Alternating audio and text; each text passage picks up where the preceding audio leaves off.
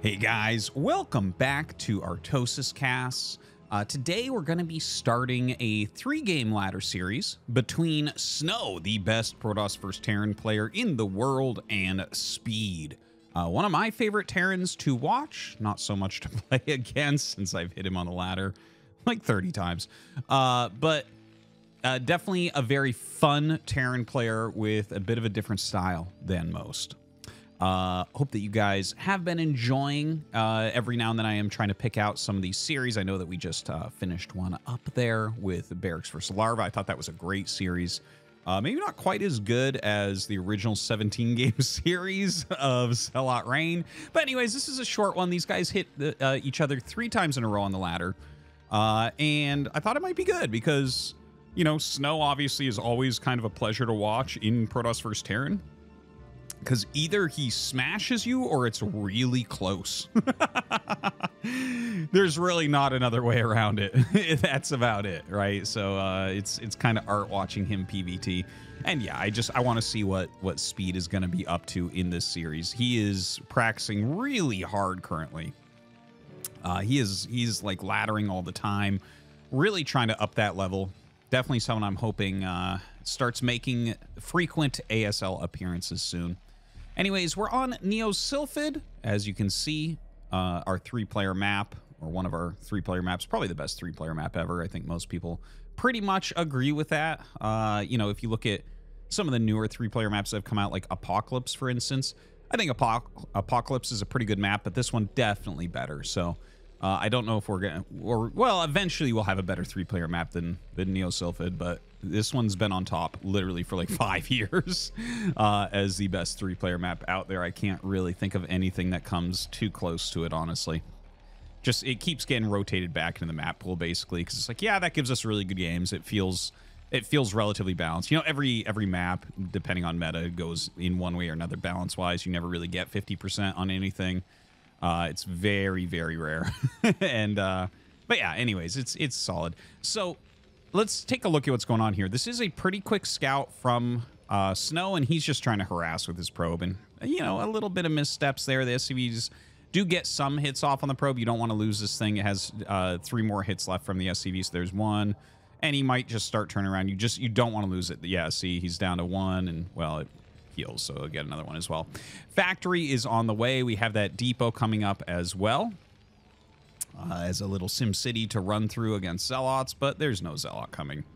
This is just going to be a quick Dragoon, and we don't have the range upgrade started yet. Now, will he start the range upgrade? I think so, because he's mining with three probes on the gas. Uh, you know, there's there's a lot of different ways to take your your uh, Nexus, so let's see now. Uh, the SCV has gotten, oh my god, the SCV got the probe! Justice. Uh, and he will get in here. And you can see that Snow has started an upgrade before the SCV saw, so he's trying to fake that it's going to be ranged. He's going to cancel that into the Nexus, and almost certainly he's going to throw Robo down. You know, he's been mining so much gas. The question was, is it actually going to be range or not? And since there is no range, I would really imagine Robo coming down. So anyways, the Dragoon going to go across, and, you know, as soon as you see that, you're like, okay, well, you know, we have range on the way. Uh, his SCV didn't get there till kind of late, so you don't actually know when it started. The earliest time that rain ever fin or range ever finishes is like four minutes and 25 seconds or so. It's right right around there. So you got to kind of be ready. You have to make sure you have a bunker by then because you just can't really touch uh, the the dragoons once they have range with those with those just standard early game Terran units like the Marines, like siege tanks. Now, we have the Robo coming up as expected from Snow. He is just such a... Uh, oh my god, this is a two-fact. I was going to say he's such a Reaver player. But this is very sneaky. So that first off, this is a very forward bunker. I wasn't going to say anything, but nor the reason you have it this far forward with four Marines in it is so that they won't run up and check if you have a command center. At one point in time, a few years ago, when Two Factory was still somewhat common, uh, this was a big giveaway that it was two factory. Now, two factory is so not common at this point that Snow may not think too much about this, but basically this is a much worse placement than back here. So if it's back here, first off, it's closer for your SCVs to repair, but also you get better surface area from Dragoons up here. right? So it's so far out, it's actually easier to kill. But again, it blocks that scouting. So this is going to be a very old school three siege tank rush uh, off of two factories. And that's, yeah, he's going to be going up against three gate goon, which is actually exactly what you want to be going for. I thought it might be a, a Reaver opener, but it is not. We're going to have five Marines, three siege tanks, and Vulture Rally. Speed and Mine's almost done. He brings an SCV. I like I like two. I'm a little bit surprised he didn't bring a second one. I mean, you're pretty much all in with this anyways. You're on 19 SCVs. You may as well pull one more gas SCV and send it because you're only making vultures from here. Uh, anyways, this push really comes down heavily to micro and to decision making. So let's see how he ends up going about this. This is only four siege tanks. This, I mean, uh, four four dragoons. This crushes this, crushes. But with three gates out and the observer, like you might be able to micro your way through this, right? He can one-shot Marines with the four goons. The four goons can two-shot a tank as well. See, he gets one big volley down, one big volley on tank. That tank halfway dead. And he actually runs up with two of the goons that are high health and starts picking off Marines a little bit. Notice the SCV is already dead. Uh, and he's got a lot of goons here. Once this wall starts to evaporate, the goons may look at that micro from Snow. The goons may be able to push out and actually uh, actually end up blocking this. But he does have those vultures to come up and add their damage. That was a sick pullback right there. I cannot believe he saved that tank.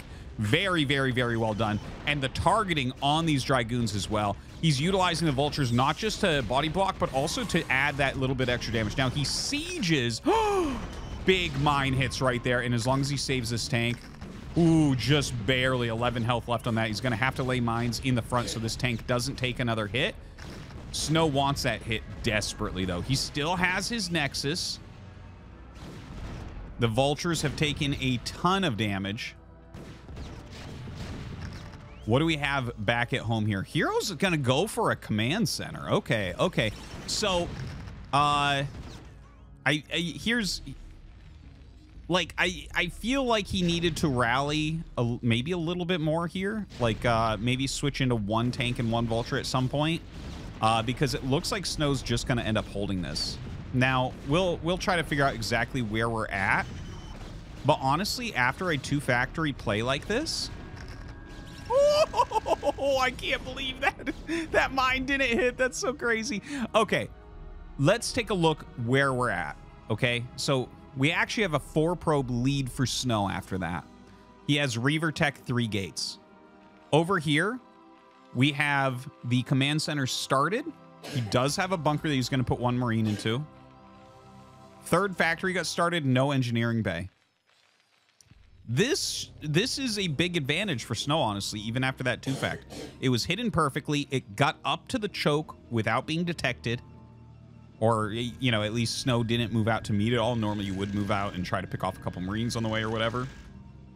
But this it, like it looks to me very good for like it's very good for snow. Now the thing is speed may have a follow-up. He may say okay well three fact versus three gate let's let's go. I'm gonna attack again pretty soon you know make make five tanks and just rally vulture that's a good move like uh, he hasn't done really enough damage, and you know he did trade a lot of units out there. And when you get uh, siege mode, mines, and vulture speed, and you go down to low amounts of units, the Terran units start to dominate because you can just kind of out micro uh, the Protoss player very oftentimes. So at very small unit sets, Terran armies are really, really good after those upgrades. Uh, so let's see what he can get done here. He pushes forward, and the the thing is, this Reaver micro from Snow is generally so good that he's able to break anything. Look at this. Drops out that Zealot to tank some hits, gets a big shot off onto this Siege tank, does end up blowing it up. Uh, he does lose uh, one Zealot during that as well. Three Goons versus three tanks. Generally not going to be good, but two of those tanks are very low indeed. This Vulture running behind. He's trying to lay some mines so that the goons can't get back. Ooh, good explosion right there. Uh, the Reaver will come out to try to block this as well. He needs to walk away from the mine. Can't be taking any more of those hits. And Snow, once again, looks like he should be able to hold this. A siege up to try to get a little bit of extra damage from this siege tank. And in fact, running by with vultures. I mean, the unit count is so low. You can see how the vultures just run by the goons. Like, goons will beat them straight up, but you're not going to fight them straight up here. And in fact, look at this beautiful micro. Oh my god, he almost gets that Reaver. But the Reaver does get picked up in time just craziness right now. The Reaver is super low, so he can't drop it with anything ready to fire and gets that Reaver. The Dragoon came up and did get the Siege Tank, but we have tons of damage being dealt, and now absolutely Speed has taken the advantage here, killing a ton of probes at this point. One thing to mention is Snow did start a third command center. I'm sure you can see it on the mini map just above the natural. So if Snow can maybe stabilize this right now, maybe there is some comeback potential since he has the three Nexuses. But honestly, looking back here, it's like, okay, we have, well, a missile turret. SCV count is okay. He's going up to five factories. So this is still going to be a very aggressive game from Speed. He has very little defense at home. Honestly, looking at like the economy and the defense, I'm checking if there's a turret under there. There's not. So he's got like one missile turret. He's starting to make some more. Wow, he actually gets a, a siege tank hit on that, that Reaver. That's pretty good. Uh, and will drop this down to try to get some sort of kill. Honestly, killing any SCVs here is strong. He knows that speed is going to be very low on SCVs. And in fact, he is. If you're going five fact on two base, you want to have 40 SCVs at least. Uh, and he just does not have that. He has 30 right now, so very low economy. Very hard to build turrets as well as your attack units. Looking back at Snow's base, right? He's still just on three gate. He still just has the Reaver tech. Now, he does have speed shuttles, obviously, as you can see. He's making more Reavers definitely wants to uh, continue to micro those and eke out advantages against speed. Speed is, well, honestly, like, I like a lot of things about the way that the speed played this, right? He tried to do a very aggressive two-fact. Uh, like, the expansion into three-fact is a really interesting follow-up as well, right? Where it's like, okay, well, Snow is ahead right now, but because the unit counts are low, let's let's continue. Let's continue the attack. And three-fact attacks are pretty strong, but now he's gone into the five, and I don't know that he has enough. Look at this. Snow just kind of walking through a lot of it, but five tanks remain. That's a very weird choice with those Zealots. I think that, like, the fact that he turned the Zealots around instead of have them walk towards those tanks and force the tanks back. A little bit surprised there. Let's take a look. The shuttle is grabbing a second Reaver. More Reavers being produced consistently here. Snow is up by five workers now. He's producing pretty consistently off of these three Nexuses, trying to catch up economically. Once again, those Zealots coming out, they're going to tank shots from those siege tanks. The Reaver getting another tank there as well. And what do you do as speed here? We see he's not really producing many SCVs. He pops a couple out here and there, and it's mostly Vulture production. But as the Dragoon count gets up, as we have pylon walls, as we have the Reavers sitting around trying to catch them, the vultures are getting weaker, right? This is the problem. Like I was saying before, in very small unit amounts, like vultures and siege tanks with those upgrades just dominate. But then you get a little bit higher, and it's not that much higher, but a little bit higher here. And you can see that it's like, oh, God, the vultures can't really get by any of this. They can't really kill any of these units as long as the units are microed a little bit. And of course, with these Reavers, they're going to start containing, look at that, 14 kills on a Reaver. That's snow for you. Uh, you know, I guess I guess we just kind of wait and see what Speed's next course of action will end up being because he's not getting through here. This is not fully defended perfectly. Maybe maybe there's a way to harass that base. He has made a good amount of siege tanks. We still don't have an armory. He's going into Academy. I think the Academy might be a nod towards the fact that like if a DT comes out, the game ends. Uh, but it also could be just to spot where units are one or two times, right? Like sometimes that'll help you to move in the right direction to to make that move that's going to catch you up. But right now, Snow continues to pick off and whittle down those siege tanks. We have some very nice micro going on. Like he's picked off a couple of zealots you could hear there, laying some mines, trying to set some traps.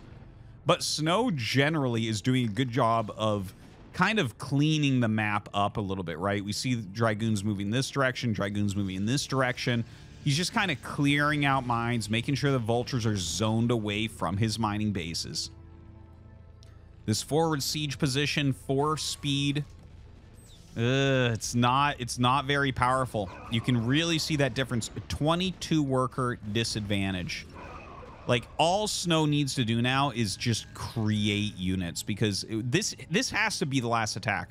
This has to be it. There's just you're if you lose this army, that's it. You're just going to be completely out macro. There's not going to be anything left. Oh god, loses three vultures right at the beginning there. Nothing lost here for Snow so far. Microing back, one of those Reavers extremely red at this point. That's a 19 kill Reaver, by the way. Does get another kill there. More Dragoons coming up. He's trying to pick off these siege tanks. Some good micro from speed overall. The Reavers will drop out on the other side and get some huge Scarab hits. And honestly, again, I think that there were some good ideas here from speed. But, you know, it was basically a cheese and it just didn't end up working. Snow ends up holding some great micro, some great decision making, and there's nothing left for speed at this point. You can see his supplies about to be doubled. He has no upgrades. He just started an armory. Honestly, there's like 0%. like you could put uh, a B Protoss in in Snow's position and he would actually win the game against speed here. It's like you just you can't there's nothing. There's nothing. The SCV count is terrible. The upgrades are terrible. He's almost out of minerals. It's very hard to take a third base in this position.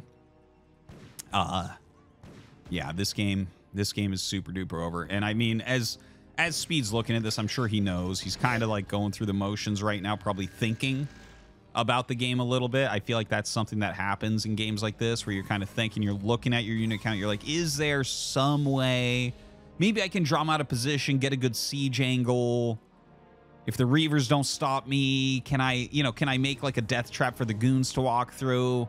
And like that, I think is what he's thinking about right now. But as you can see, his army is so small and there's no counterplay to these Reavers.